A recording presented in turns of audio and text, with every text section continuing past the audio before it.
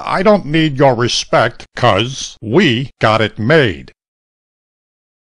In my special ed voice